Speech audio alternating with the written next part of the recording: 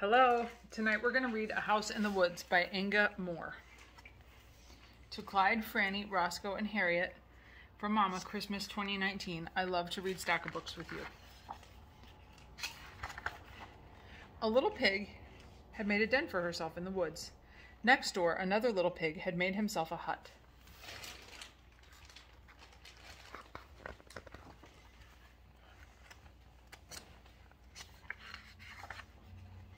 One morning, the two little pigs went out walking together. One little pig found a feather, and the other found an interesting stick.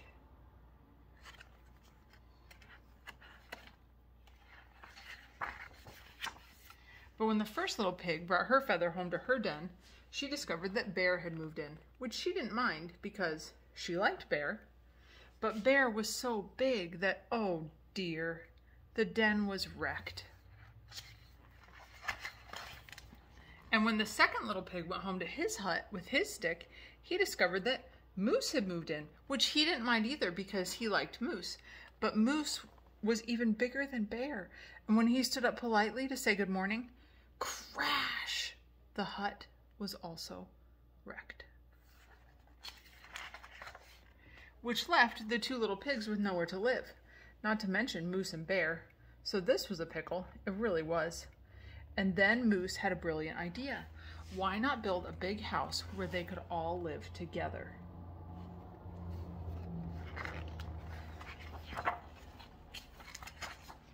Well, that was a good idea, except that building a big house with real windows and doors, a roof, stairs, and chimney stacks isn't easy, and they couldn't do it on their own.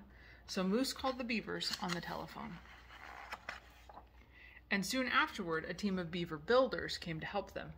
The beavers said that they wished to be paid in peanut butter sandwiches. No one had any objection. So they felled the timber,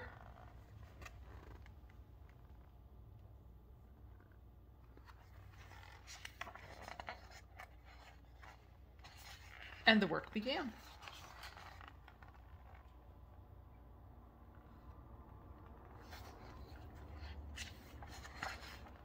By lunchtime, the walls of the house were up.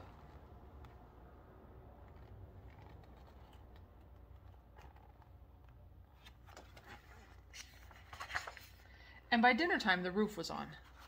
The lunch and dinner times were on different days, of course, because beavers are fast, but they're not that fast.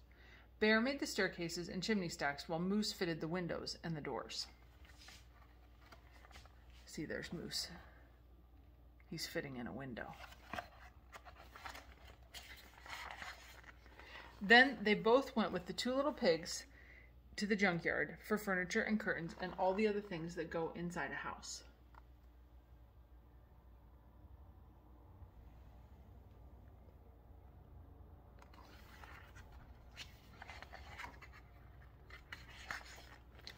At last, the house was finished. There was just enough time to get to the store. Oh, at last the house was finished. The beavers handed over their bill and left. There was just enough time to get to the store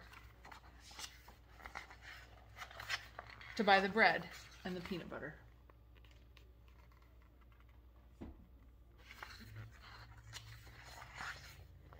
Then the little pigs helped Moose and Bear make six plates of peanut butter sandwiches, which they delivered in person to the beavers, who had all gone back to their lodge on the lake. It had been a busy time for the little pigs and for Moose and Bear. They had worked hard. Had it been worth it? What do you think? Just look what a beautiful new house they have.